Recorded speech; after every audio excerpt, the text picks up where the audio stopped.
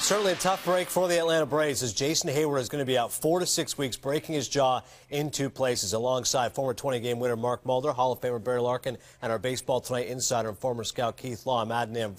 Mark, what's the impact going to be of Heyward's absence on this team? I think it's huge. This team, this team's been so consistent throughout the season. He he moved to the leadoff spot. He's been on fire for this team. It's someone who's setting a table. And, and he's not just a, a, a, typical leadoff hitter. He's a guy who hits for power, has plays great defense, has a great arm. He's going to be missed. I think he is going to be hugely missed because this is a team that strikes out a lot.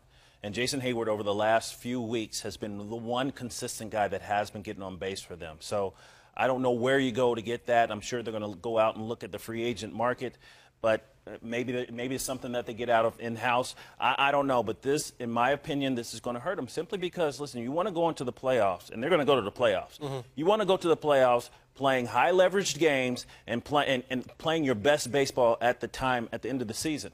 Uh, you know, 15 game lead right now, not a lot of high leveraged games, and you're missing the guy who's been consistent in the lineup. I think it's going to hurt.